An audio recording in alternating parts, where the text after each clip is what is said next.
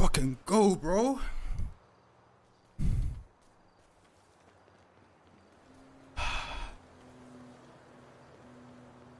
Ah, yet again, Flippy.